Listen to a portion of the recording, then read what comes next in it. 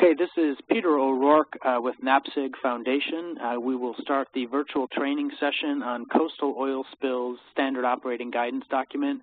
The trainers today will be Bruce Oswald and Melissa Langclose, uh, who, among other things, work with NAPSG Foundation on um, putting together these sorts of technical documents uh, for the public safety community. Um, this is our first uh, particular SOG that is relevant, relevant to both the public safety and the environmental community. So we're particularly excited to um, host this training session. And without further ado, uh, Bruce and Melissa, we'll turn it over to you. Thank you. Well, thank you very much. We, uh, ah, having a little technical difficulty. Hi, uh, this is Bruce Oswald, and as Peter said, Melissa Langclose is uh, with me today. And we're going to be going through um, the uh, coastal oil spill SOG just to give you uh, an idea of what's in it, how you can use it, and where you can get it. Um, one of the things that we know and we've learned over the last few months is that there's a great need uh, for uh, the development of standard operating procedures uh, between GIS practitioners and uh, emergency management personnel in responding to coastal oil spills. And it doesn't have to be a Deepwater Horizon oil spill or, or an Exxon Valdez. Uh, because oil spills happen on a regular basis, in fact, a daily basis uh, along the coast of the United States. Wow, my computer's not doing well here. So a little bit about uh, Melissa and myself. Um, I served as the project manager for NAPSG on this. I did a bit of writing, uh, a, a, lot of editing.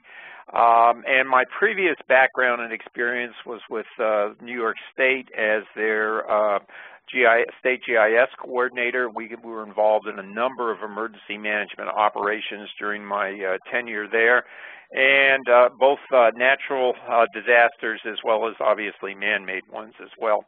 I've worked in the private sector for the last few years and worked for the National States Geographic Information Council as a consultant, and then over this past year with NAPSG. Melissa? Thank you, Bruce. Hi, everyone. My name is Melissa Langclose, and um, I have about 15 years of experience in the GIS field. Um, for this project, I came in um, kind of helping Bruce in the project management side and acting as the primary author on the actual document. Um, I have a background, like I said, in GIS. I've done several project management jobs throughout my life, um, throughout my career. Um, natural resources was actually my first job, and it focused on how GIS could help with environmental decisions. And working on this project has kind of gotten me back to being able to, to do that a little bit. And um, it's just been really interesting learning about coastal oil spills, this process, the policies that go into it, um, the data, just the different things that the working group has taught us. Okay, well, thank you, Melissa. And so the training is, uh, as Peter said, is provided to you by NAPSG. Uh, it has been funded through the Department of Homeland Security's Geospatial Management Office. Um, Peter has provided us with the oversight not only for the training, but even more importantly for putting the SOG together, and he brought in a number of people, experts in the field, and introduced us to them and provided overall guidance in putting this thing together. So what we're going to cover today is why geospatial policies and public safety, a little bit about our work group, the project goals, the audience this is attended for, a little bit about the process we use, things we learned, that, uh, some of which were actually very surprising to us. Melissa's going to be going into great details on the uh, SOG content as well as uh, tips and how you can use it. And then I'll wrap it up with where you can get the SOG and, and, and how to get things started.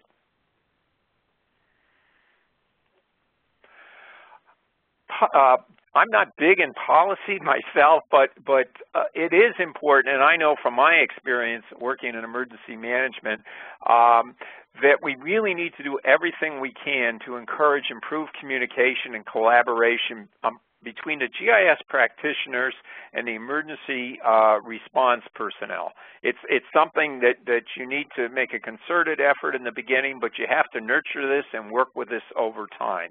And we think the template that's, uh, that's been put together here is really a, a, tool that can help agencies get started in developing their own policies. And we want to emphasize it's their own policies. This is just a tool, use the parts that work best for you, and then go from there. Um, the key thing is overall you need to institutionalize uh, the use of geospatial assets uh, during uh, oil spill emergency responses. And, and that involves a lot of upfront work, a lot of training, and a lot of perseverance. Uh, this this uh, actual guideline is a uh, part partnership between NAPSG and the National State Geographic Informational Council uh, and uh, DHS's GMO. It was developed with input from all levels of government, as well as the private sector and non-for-profits. And uh, NAPSG really wants to thank all the partners that helped put this together and make this the, the document that it is. A little, little bit about the work group. Uh, we didn't come up with a specific number of people to start in putting this uh, together with a work group, uh, but it, it uh, through the people that Peter introduced us to, as well as others that were that were brought on here, uh, it grew, and it grew to 21, and then if you add Melissa and myself, 23 uh, people, and people from all sorts of walks of life. And I'm, I'm listed the, the contributors here, uh, a lot of people from the Coast Guard that worked on Deepwater Horizon, Bill Burgess, the Washington liaison from NSGIC, who worked for years for the state of Maryland and actually did oil spill response, not necessarily as a GIS practitioner, but, but actually went out in the field on this stuff. And then we have people from different states, like uh, uh, the state of Florida, Richard Buckerite, and he suggested other people from his state to bring in here. And then people from Alabama, uh, the Nature Conservancy, NOAA, uh, a, a, private sector, uh, Tanner Canese, who actually worked for the oil company, so that provided a little bit of a different uh, perspective. Rusty Liner from, from uh, Louisiana, and, excuse me, and Ginger McMillan from the Maine Department of Environmental Protection, who also actually worked on the Deepwater Horizon incident. Rand Napoli uh, from the board of directors of NAPSG was was uh, provided us with input and, and, ideas and people to bring in uh, from the firefighting community within Florida that actually had worked on this, such as Rick Talbert from South the South Walton Fire District, uh, Harvey Simon from the EPA, I've known for a number of years, and then uh, Mike Van Hook from, from Alabama. So those are the kinds of people we had involved in there, and we really worked hard to ensure um, that the, their role was one of providing expertise, uh, opinions, examples, and making sure uh, that we did the, the, grunt work and they did uh, uh the expertise work. A number of goals we had in mind for this project as we started out. Obviously, develop a template that others can use at the state and local government uh, level. Uh, provide guidance for GIS professionals who may not have necessarily backgrounds in oil, coastal oil spills to get them up to speed as quickly as possible. And also to help emergency management professionals understand how GIS can be an effective tool to make them, uh, allow them to do their jobs better. And then and Melissa will talk about some of the key things that we found in there that were needed for success, both from the emergency management perspective, but also from the GIS perspective. And then, and then we needed to make sure that whatever we uh, produced was consistent with the Department of Homeland Security's uh, geospatial concept of operations, as well as NAPSG standard SOG. And then we wanted to make sure that it was out there and easily disseminated across the country, and, and NAPSG's put it up on their website for easy download. Two parts to the audience here. Uh, the GIS practitioners that need to know what their requirements are within the emergency management community, and the emergency management professionals that need to know how GIS and geospatial technologies can better support them and make them uh, uh, uh, better able to respond to coastal oil spills, whether they're at the local, state, or federal levels. So what was the process? Well, we started uh, almost exactly a year ago in October. Peter kicked us off. Um, and to be honest, Melissa and my, and my background, uh, although we were involved in a number of things along the way, didn't I, I, my total experience on oil spills were things that dripped from my car, to be perfectly honest. Uh, we conducted a lot of research up front. We developed a list of questions that we felt that GIS could provide uh, answers to uh, for the emergency uh, management uh, community uh, related to oil spills. And then we tested those out with interviews with experts along the way. And we conducted, a, oh God, uh, 12, 15 or more interviews over the course of three months. And part of that process provided us with expertise other parts of that process provided us with, with a rapport with people that later became work group members. In January of uh, 2013, the outline was put together uh, for the SOG. It was sent to our, our, work group, and this was generally the process that we did. We we put together the uh, the draft materials, we sent it to the work group, they edited it, provided comments, we redid it, and then we'd have a meeting and discuss everything and move on from there. So that happened in, in uh, January and February. We had our work, first work group meeting. The uh, first draft was put together of the document, another uh, iteration of comments and work groups and, and, and meetings, and then, and then we went through the entire process uh, and, and uh, uh, we're able to finalize the, the draft and get it to the Department of Homeland Security in June. And I, Melissa pointed out to me the other day that we'd actually gone through nine different drafts of this. So it, it was a very iterative process. It worked very well. Uh, so in September, obviously, we were able to schedule the training and, and get the SOG up on the website. So there's a number of things that we learn, perhaps because of our ignorance of oil spills, uh, and perhaps uh, uh, uh, there are things that others don't know. We thought we'd put those together. Um, Bill Burgess was the one that said to me originally, um, hey, um, I was on oil spills. We went out on a daily basis in the state of Maryland. They may be very small. It may be uh, it may be a, a tanker pulls up to offload uh, their oil and uh, something happens and there's a spill, or it could be uh, something being onloaded to a barge that's going further up a river, or even just a, a, a ship that uh, runs aground and starts leaking. Um, but you know, there also is the Exxon Valdez and a Deepwater Horizon thing. So, but they happen on a regular basis. There's uh, uh, uh, some protocols that have been put in place uh, as far as the national response system. Uh, here's one reference here. The Coast Guard has also created an incident management handbook, which uh, is is useful and with something is something you might want to consider. there's a number of things in there, and we'll talk a little bit more about about other things later on. Um, one of the things that became reality along the way is that there are, when you get reports as, as a uh, GIS professional on the volume of oil that's spilled, you have to understand the perspective of the, uh, the uh, party that's giving you that information. And whether if it's coming from, um, we'll say, the party that uh, may have caused the oil spill, uh, the volume reports may be uh, tend to be on the lower side, whereas whereas it's if it's the regulators, it may be on the higher side. So you just need to keep that perspective uh, in your mind as you're looking at the information. Booming, we learned a tremendous amount about booming. There's a number of different types of booms. The fact that uh, during uh, the Deepwater Horizon incident, uh, people were out there, GIS professionals did almost all, all their time was dedicated to tracking uh, the type of booms, where they were put out, when they were put out. The booms were used to keep oil out of sensitive areas uh, or to contain it if it's a smaller incident. And that it, it's very, uh, there's a minimal amount of wind that impacts, that can impact the booms, whether it's that or tides or waves or things like that. So while you may have them deployed out there, they can become less effective depending on the uh, atmospheric conditions.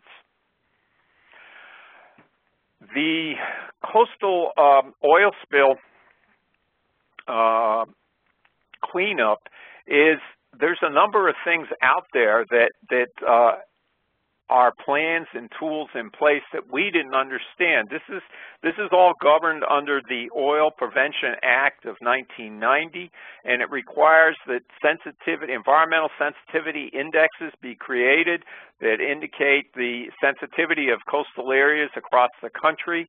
There are response plans and contingency plans that detail how those uh, areas are to be protected by booming and other things. You need to know that. You need to have that information at your fingertips if you're going to be successful as a GIS professional in responding to these kinds of emergencies. And then lastly, uh, during the Exxon Valdez uh, incident, NOAA put together uh, something called SCAT, the Shoreline Cleanup and Assessment Tool, which is a really good tool for uh, people in the field to use to uh, indicate the damage uh, that's occurred due to oil.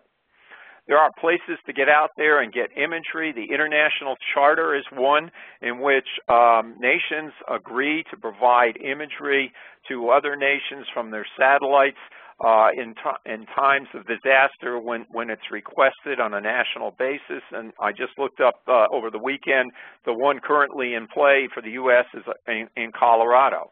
Uh, the United States uh, Geological Surveys EROS Data Center provides uh, a data distribution point for their hazards data, uh, data distribution system, and you can get both imagery and vector data from there. And then lastly, uh, there is a, uh, a mechanism in which states can acquire staffing, additional staffing during an emergency from other states. For instance, you could get a GIS professional from an adjoining state. Rates for those professionals have already been established and it's in place and you can work through your Emergency Management Operations Center to uh, uh see about those. We put together a checklist, uh, which is in the appendix, uh, which is approved, uh, uh, seems to be quite valuable, and people are, are anxious to get a hold of that. Uh, there is an elaborate three-year training program, which the Coast Guard and their Incident Management Handbook has put together. We're not saying you need to train for three years, but there's some good things in there that you can use uh, as part of your training. And then there's a bunch of resources that NOAA has that uh, we think will be valuable to you as well. Okay, well, let me turn it over to Melissa, who's going to go through the content now. And uh, take it away, Melissa. Thank you, Bruce. Well, hello again, everyone. Um, I'm going to spend a little time going through the content of the SOG, kind of um, the big the big points that you need to understand and kind of the big headings and explain each of them to you so you have a little bit better understanding of the document once you download it. Um, I'm also going to explain how this document can be used just briefly, uh, kind of how the document is set up, what the different um, highlighted areas mean, and whatnot. So getting right into this, the core of the document really has two main parts. So what emergency managers and first responders need to know about GIS and how they can use GIS during an incident. And then secondly, what GIS professionals need to know about how GIS can be utilized by emergency managers and first responders before, during, and after an oil spill. So really our goal with this document is to help both groups understand their own role and then also the role of the other group in order to utilize GIS to its fullest potential. So I'm going to highlight the document's key concepts that each group need to understand for GIS to be effective during an event. So let's start with how GIS can assist emergency managers and first responders. This document gives a brief description of what GIS is. Uh, we know not everyone is familiar with GIS and really haven't had the opportunity to use it. And so if that's the case with an emergency management group, we want to give some general information about GIS. There's a section that gives examples of the type of questions GIS can be used to answer. Um, this is especially helpful if emergency managers and first responders haven't used GIS before. Um, they may not know what, well, you know, how do I use this? What do I do with it? So some examples that we give include, has the oil reached the shore yet? Uh, what is the status of the booming operations? As Bruce mentioned, that was that's a big thing with oil spills. Um, what resources are at risk? So you can look at, you know, sensitive, environmentally sensitive areas, uh, the shoreline if it's an area that maybe had some endangered species along it or whatnot. So those are the types of questions that you know GIS can answer, and we want to help emergency responders know what they can can look into. The document also stresses the importance of including GIS in the organization's workflow. So the successful implementation of GIS is really dependent on seeing where it fits best in your current workflow, and it also looks for opportunities to enhance or expand into new areas. This should be done prior to an incident. Doing so really helps to ensure that GIS can be used to its fullest potential, and you'll hear Bruce and I say that several times during this presentation, just that so much of this, as he stated earlier, is upfront preparation, upfront implementation, kind of getting things set up before an incident. Um, also, if you incorporate GIS into your workflow, it helps get the emergency management team familiar with the GIS and ultimately helps the GIS team understand emergency response because there's that communication up front about where it fits in. Another key point is incorporating GIS into pre-incident training. So this kind of reinforces the point listed with incorporating it into the workflow. If you add GIS to your training, that really has several critical benefits. So firstly, it kind of helps emergency responders become familiar with GIS. They're going to understand it better. They're going to see where it fits better. Um, like I said, it, number two, it shows where GIS fits into the workflow and how it can add value to response. So you want to you want to get your emergency management team familiar with it. You want to kind of see where it fits in your workflow. And then it also helps the GIS professionals to understand the emergency response and helps them to be prepared for high pressure, pressure situations. Most GIS professionals aren't in high stress, high we have to get this done right away situations. Most people are working in parcels or, or you know, document management as far as eh, just various GIS professions that don't involve time-critical information. And so if you do this training up front, your emergency responders are going to be way more familiar with how GIS fits into the plan, and it's also going to really help the GIS professionals um, be prepared to, to deal with these high-pressure situations. So next, a key to adding GIS to emergency response is upfront communication about products and expectations. So really, again, pre-incident, you want to establish what types of products you want. Do you want maps showing certain data, like platform locations or sensitive species, boom locations, things of that nature? Um, do you want analysis of such data as wind speed, direction? Do you want to see oil trajectories? You know, and you want to kind of establish pre-incident how often you'll need updated maps or information for briefings. So the more open the communication is, the better and more useful the GIS will be. And you want to do all of that pre-incident, and you want to kind of set up those products and expectations early. Along those same lines, you want to come up with a pre-incident list of questions GIS can answer. So that kind of goes back to what we talked about before of once you understand how GIS can be used in your workflow, it can really help you set up these questions that GIS can answer. So you want to brainstorm specifics maps that you always need maybe that are specific to your organization, like I always want to know the distribution of my teams. And so maybe you want to make sure that that's incorporated into the questions you're answering. Um, maybe there's analysis you always rely on. So maybe your particular organization focuses on booming locations. So maybe you want the analysis that the GIS professionals do to focus on what the weather's doing, what the tides are doing, what the wind is doing. As Bruce pointed out, that's really a big factor with booming. Um, also, maybe you want to talk early about what data should be in-house. If there's specific data sets or specific questions that you want answered, really pre-event come up with, okay, these are the questions we have. Now, what data do we need to get now, get early, get pre-incident, have in-house and on-hand to answer those questions? It's important to understand that GIS does require pre-planning for implementation. It's, it's, it takes a little bit of upfront um, information. You need hardware, you need software, you need data. They're all needed to run a GIS. So again, pre-incident, you want to get a list of data needs to be established. You want to see what your hardwares are, hardware is needed and get that infrastructure set up to run the system. You want to purchase and install your software.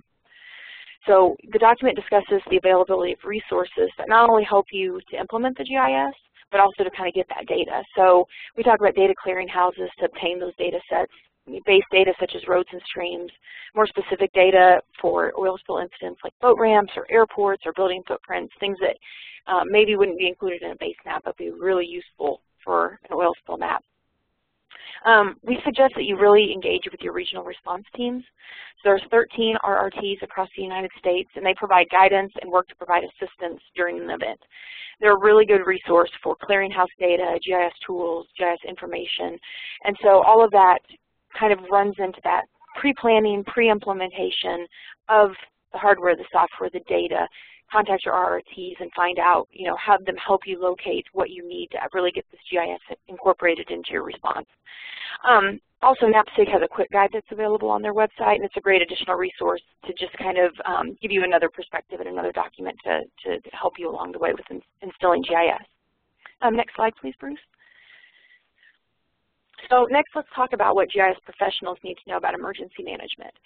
And this is kind of a little bit bigger portion of the document because this is, um, we want GIS people to really understand emergency management and what goes into that. As a GIS professional, you may never have worked in an emergency situation before, and you may be pulled in to help on an incident. Sometimes they need GIS backup, and you are the parcel editor who needs to be pulled in. So it's really important to be able to understand emergency management. The document explains the emergency organizational structure of MACs, which are multi-agency coordination system.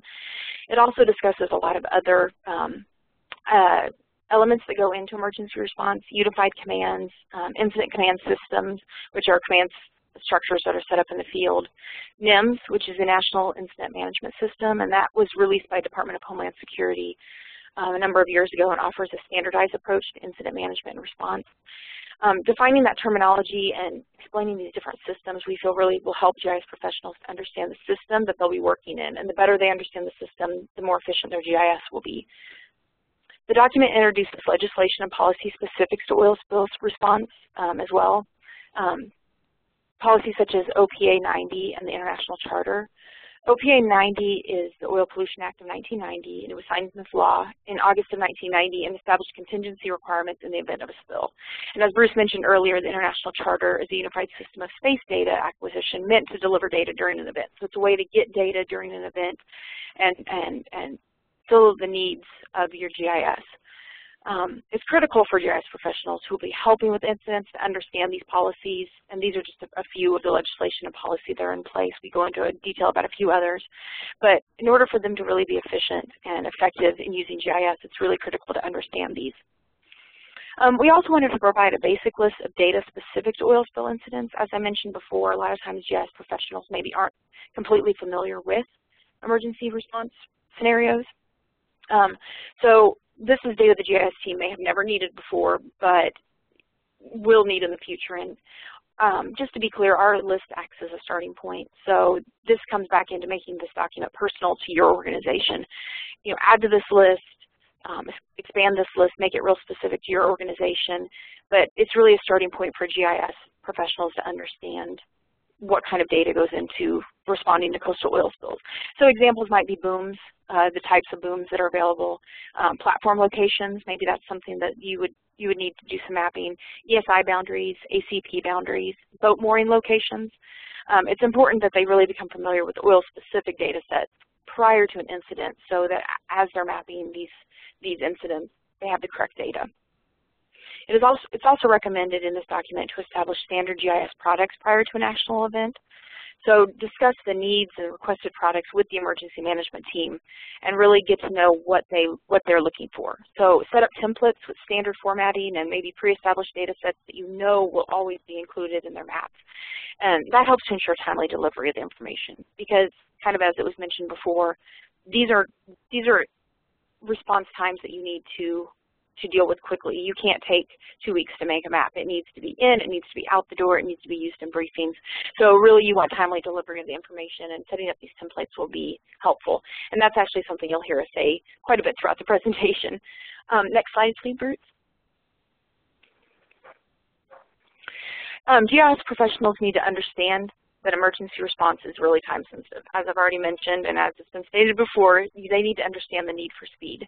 They need to be prepared with that pre-incident established products. They need to understand the response in a coastal oil spill is a very quick turnaround and just you know, set up those templates, let talk to your emergency management team and understand what they're really looking for. The more prepared you are, the, the more of an opportunity you'll actually have to do additional GIS, answer additional questions, and not focus on these, these base maps that they need kind of at the beginning of an event. GIS professionals should be incorporated into pre-incident training, and I kind of mentioned that in an earlier slide in the emergency management section, but training is critical, and incorporating the GIS team into the training helps ensure everyone is comfortable during the real incident. It gets the two teams familiar with each other and really creates more of a one-team mentality. Um, next slide, please. So now let's talk through some of the standard operating procedures for the coastal oil spill response. Um, as Bruce mentioned earlier, we came up with an SOG checklist. It was really a much requested part of the document. When we started sitting down with the working group, we were, one, surprised that one didn't already exist that was fairly detailed, and two, um, surprised at how much that was a requested document. Um, it's a checklist that's intended to be a starting point for an organization to use when they set up their own SOG. So as you go through and, and modify this document and make it really personal to your organization, we want this um, checklist to be modified as well. And we put a lot of information in it, so you may end up having to take out half of it. Maybe you don't need the pre-incident information, maybe you don't need the post-incident information, but um, maybe you do. And there may be things in there that we missed. So um, we want it to be completely customizable to your organization. The document talks about GIS staffing and resource requirements. Really, it's critical to evaluate and understand and implement the necessary hardware, software, data, the general resources, everything I talked about before that a GIS team needs to assist during an incident. We really talk about in the document too how in a perfect world there's access to internet, the network has the connectivity, there's no issues with power, but we don't live in a perfect world, and we certainly don't live in a perfect world during an incident. So really you need to establish resource requirements, taking into account when you have to work disconnected. And we really kind of get into the importance of that. You need to come up with ideas, you know, it works great if you've got power and it works great if you've got network connectivity, but what do you do if the power is down or your guys can't sync back to the main database? You know, do you go back to paper maps? Do you use cell phones with geo-enabled pictures? It's just kind of goes into how you need to think about these things from various different perspectives. Um, the document also provides a basic roles table and a basic resource requirements table. That again is meant to be modified by you. Um, they're starting points to customize your organization's needs. So maybe what we call a deputy team leader, you call something completely different. So we want you to go in and change those roles, change those responsibilities, and really customize that to fit your organization. Next slide, please, Bruce. So staffing and team transition. It would be really great if you could try to establish your GIS team ahead of time, and there's really several benefits to that. Um, that gives the emergency response team and the GIS group time to train together, as we mentioned before, and work together pre-event kind of to establish, you know, these products and these, these data sets that are important. Um, so you get that team building opportunity if you've got your GIS team pre-established. Um, helps with communication, helps with working relationships, kind of is just an all-around win situation. Um, also, pre-establishing the team really allows for more efficient scheduling. So you can kind of, if you know who your basic team is and basically know who has kids or who has a second job or who has various commitments, you could really kind of structure your team ahead of time of who's going to be on first shift and who's going to be on second shift. And really one of the most important things the document discusses is the need for overlapping shifts. So your teams can brief each other on data, uh, talk about issues they've encountered throughout their shift, update the team on the next shift coming in where the, the process currently sits. And so that's kind of one of those things that maybe as a GIS team you don't you think oh we're going to go into the mapping but really we stress the importance of, of having these two shifts of having open communication between the shifts and making sure you you overlap quite a bit. Um, going on to communication, um, I've said this. Oh, I'm sorry. I skipped file naming and data structure. I'm not going to go into a super amount of detail on that anyways. Um, the document discusses the need for standardizing your file naming conventions and your data structures. We give examples for both of those, but that's not a real um, exciting section, so I'm just going to breeze through that um, and go on to communication. And the reason I tried to skip forward to this is because communication is really critical. And I know that Bruce and I will say communication several times during this presentation, but really, you know, pre-event, during the event, post-event, you just really want to make sure that you have open communication. Um, during the actual event, there's usually multiple agencies involved during during it, and depending on the size of the event will determine how many different agencies are involved. Um, efficiency is very important when you're dealing with response, and good communication is critical to achieving your goals quickly. So, you know, really you want your GIS team to have really good communication amongst itself and amongst the, the emergency response team as well. This document actually highlights several other communication opportunities that GIS professionals should be aware of when they're dealing with the response. So first, um, local and state GIS emergency responders that maybe are outside of your immediate organization. You know, you're going to, the more agencies come in, the more GIS professionals are going to potentially be involved. And so you want to be aware that there's going to be some communication as this ramps up. You're going to have additional um, positions and people coming on board. Um, GIS coordination calls and distribution lists, these happen during an event, certainly, but they probably happen on a regular basis as well outside of an event. Just coordination calls that get people, you know, on the same page as far as maybe policies that have changed or data sets locally that are available, things like that. So pre-event, and again, during the event, you want to kind of find out if there's these coordination calls and distribution lists that you might want to be on just to keep up with what's going on in the area.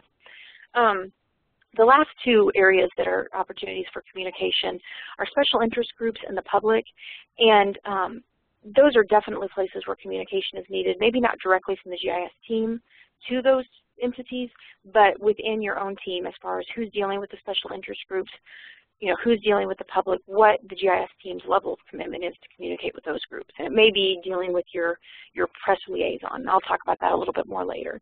But really, communication, I can't stress enough, is key pre, during, post-event. We just, you want to keep those lines open as best as possible. Um, mapping protocols are very, very important. You want a uniform look and feel to facilitate the ease of use and interpretability of your products. Um, the document offers several guidelines when creating map products in like a common operating picture, consumable services, uh, web-based APIs, things of that nature, map templates. You just want to make sure that you've got these mapping protocols in place so that your, your products look and feel the same so that people in an emergency situation can look at them, interpret them, read them easily, and move on. Uh, next slide, please, Bruce.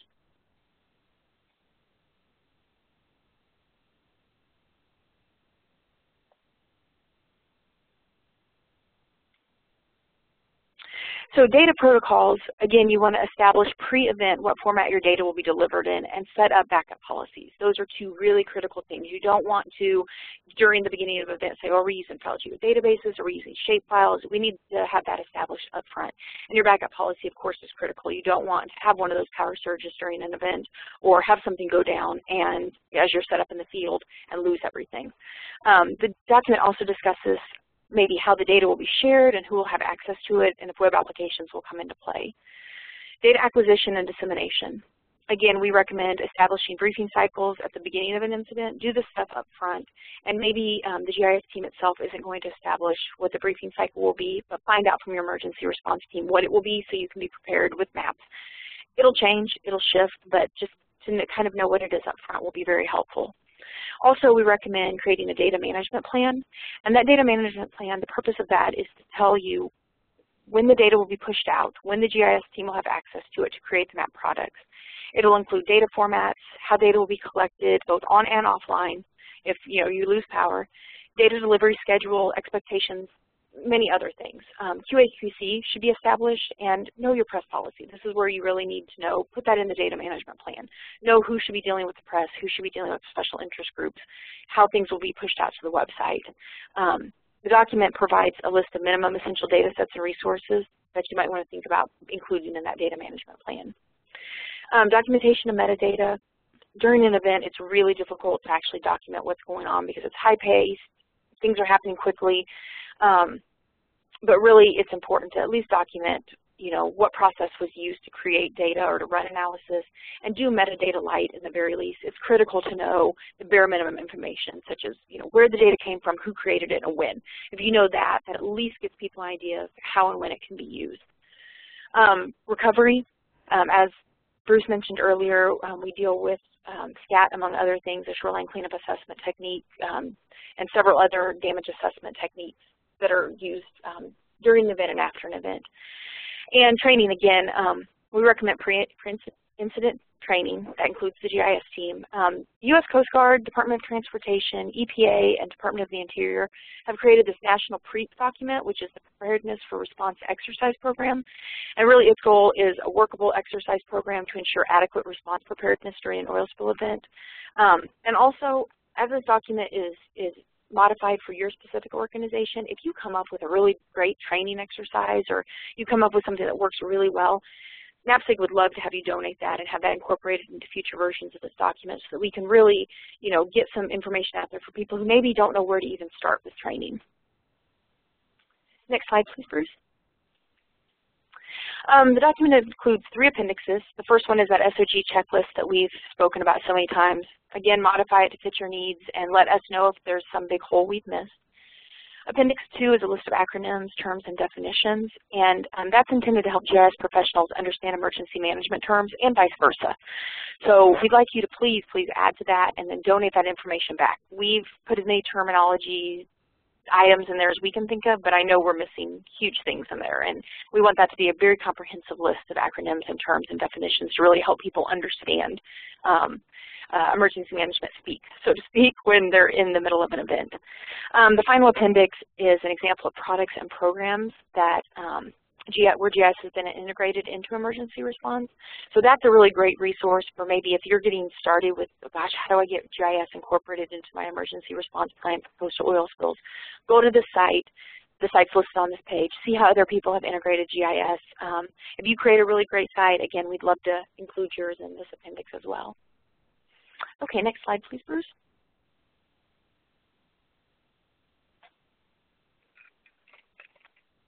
So real quickly, I just want to go through a few tips on how the SOG can actually be used. Um, as I've mentioned, as Bruce has mentioned, this is a template. We want you to modify, customize, use it to meet your specific goals of your agency or organization.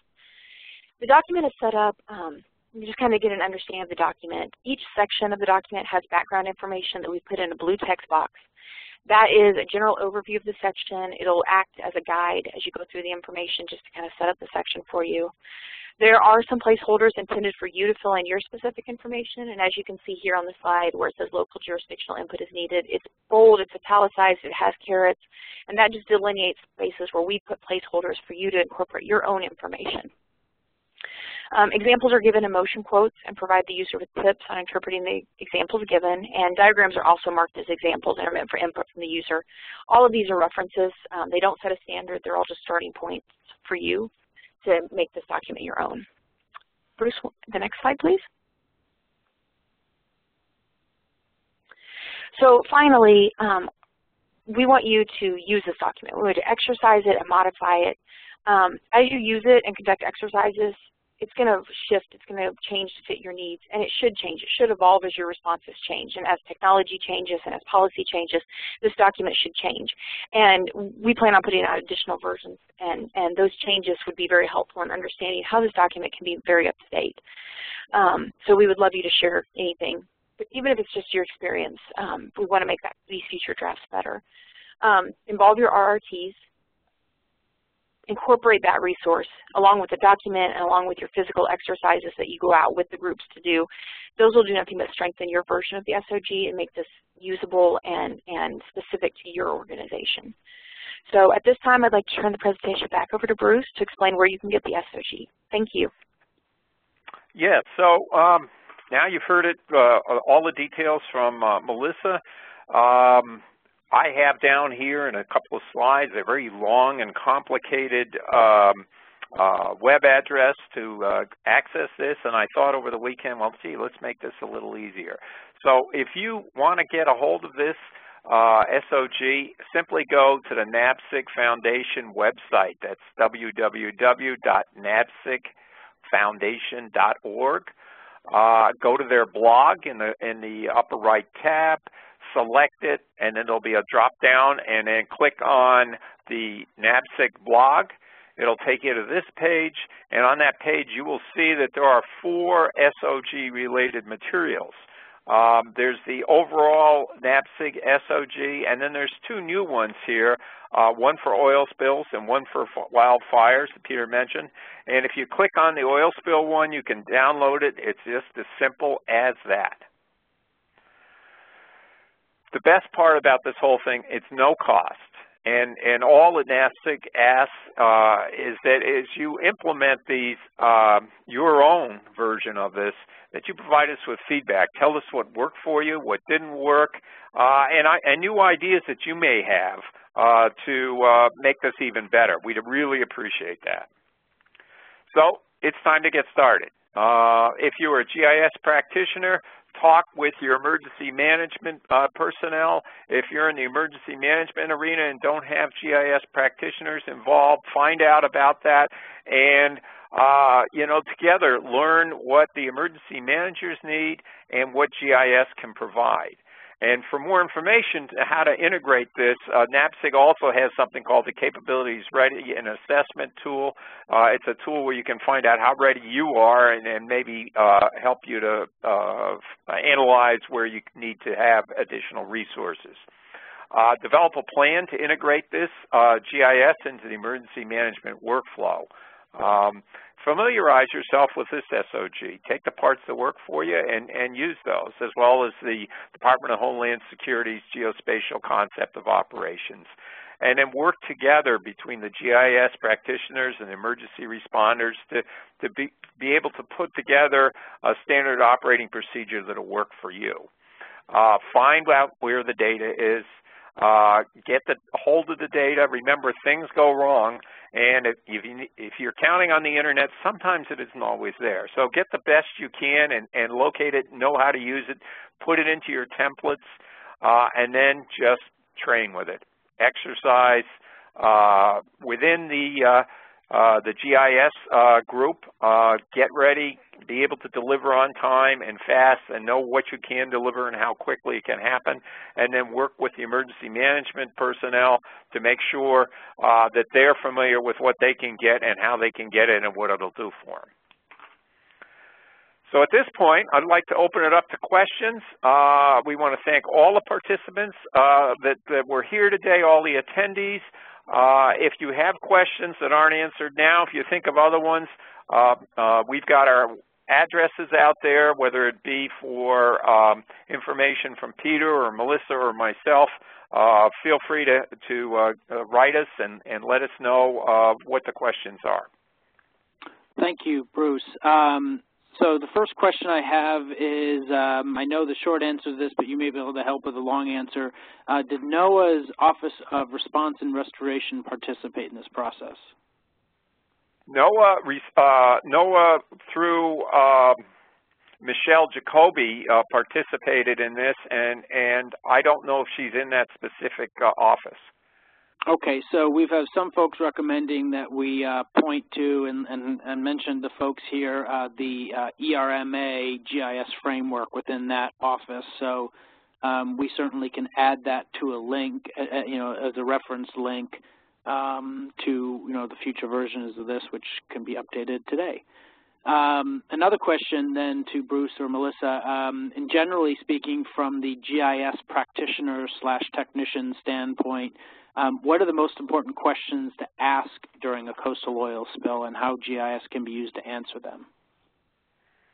You know, the, the questions that, that I, and I, through the interviews and stuff that I, I heard that people were asking, not from the GIS perspective, but from the emergency management perspective, were, you know, number one, where is the oil spill?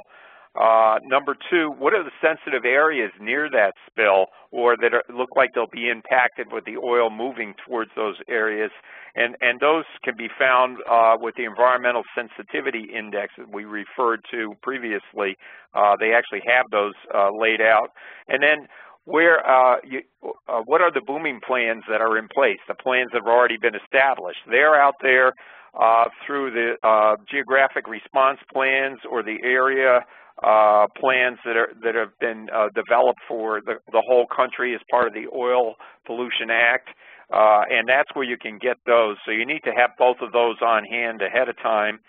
Uh, and then the next things you know you're going to need to know after you get involved in the incident is you're going to have to have a process in place to map out where the actual booming is taking place, because that may differ depending on the atmospheric conditions, and uh, and and then where uh, uh, people in the field are recording uh, oil hitting hitting the uh, the land. And kind of related to that too, it's kind of part two of that that Bruce and I heard quite a bit within the working group was the questions that Bruce just outlined are, are great, but some of the emergency responders that are dealing with the coastal oil spills maybe didn't know exactly how powerful GIS was or all of its capabilities. So one thing that came up quite a bit in the working group is we want GIS professionals who are familiar enough with this emergency response stuff that they can then suggest, you know, well, great, we've got booming locations mapped, but now we can do this analysis or that analysis. So one thing we actually heard quite a bit was they wanted input from the GIS professionals themselves as to ideas on how it could be analyzed. That's th thank you, Bruce Melissa. Um, Phil Phil Balin, uh, as he always does, gets right right to the point with a $60 million question. Uh, what strategies have worked to get uh, the emergency response and GIS folks together uh, to see how they can share data uh, at a particular incident. And, and I'll take a one crack at this, and, and Bruce and Melissa, you might be able to help. Um, the, the number one way to get cooperation is to train, to plan and train ahead of time so that the cooperation is just part of your SOP. Um, and this document is not going to teach people to share and play nice with each other, but if we train against this document and we utilize this document as a way to um, foster that collaborative collaborative spirit, then then it becomes more effective. Uh, Bruce, Melissa, you might have a better way to look at it. No, I, I think that's a that's a great way to look at it. Uh, one of the things that I always look for in, in that was successful in New York State was to find a way, whether it was just by pure luck in some cases, but uh, maybe plan out how you can, uh, even if the person isn't looking for GIS, how you can say, hey, this is what they're working on. What do we got that'll make them look good? And then, and then bring it to the, the emergency management personnel, have them uh, take a look at it and perhaps use it, and if it's successful, then you're off and running working. Once you establish those relationships, whether it's through uh, something like that or through the training, uh, people are generally happy. If it, if it makes them, uh, their job uh, easier and more, uh, makes them more efficient or, or from a selfish perspective, just makes them look better, uh, they uh, are generally receptive to it. Melissa?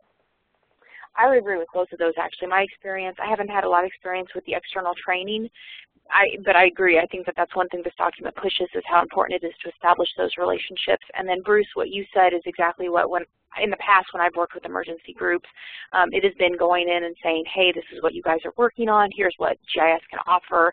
You know, and here's how you can look at it differently. Here's how you can see it spatially. And once you get their attention, it, it's very easy to start collaborating between the two groups. Great. Yeah, um, one, one, other one, one other thing. Uh, in New York, we actually established a liaison that went from the uh, GIS uh, uh, group out and sat down in the meetings with the other groups in the Emergency Management Center and, and would physically make those uh, uh, those suggestions during the middle of their meetings, not obnoxiously, but but gently, and it was very well received.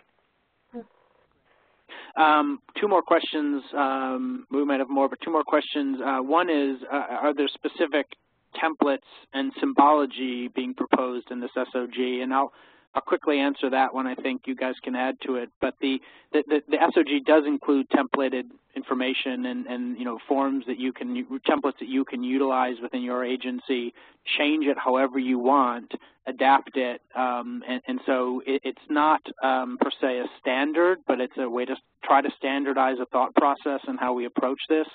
In terms of the symbology, um, we do have a separate symbology effort within NAPSG Again, not to try to create a standard because we are not a standards-making body and we don't want to be, um, but we are trying to come up with a way to think about symbology in a less um, uh, kind of cut and dry approach and say there's a way to look at symbology and, and put some common sense principles behind it, and we all we all should know what it's trying to do.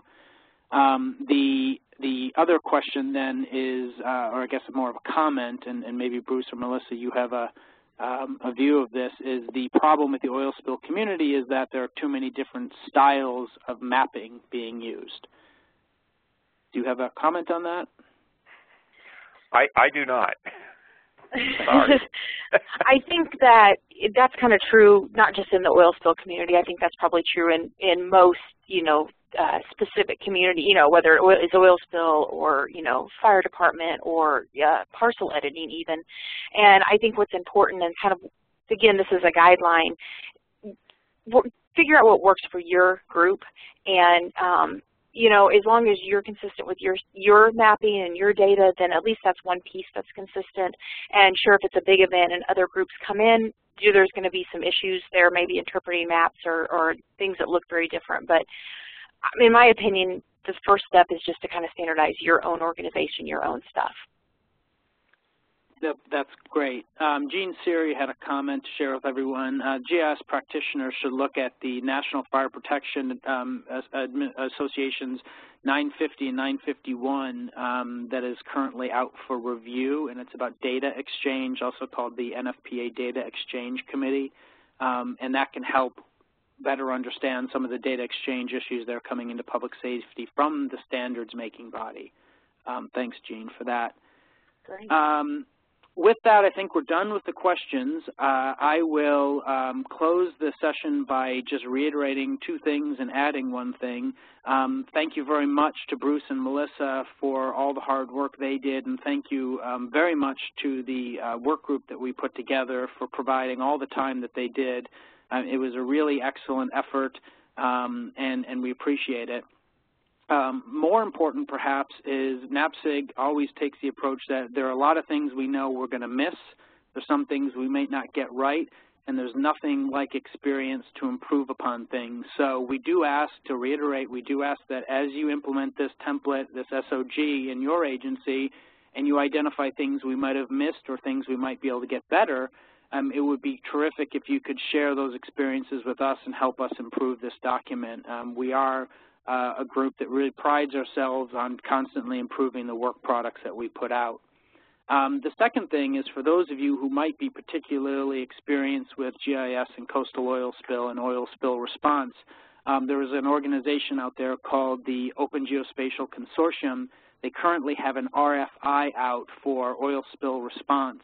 Um, that is a very large group that is looking to try to put some standardization around oil spill and GIS. Um, we will be responding to that particular RFI, and if you have experience with GIS and oil spills, we would encourage you to take a look at that. Um, if you don't know how to find that RFI, please just give me a, a, shout by email at the email address that's on, on the page right now, and we'd be happy to direct you to the right place. With that being said, we're going to conclude the session now. Thank you very much to uh, all of you for participating on this. Uh, we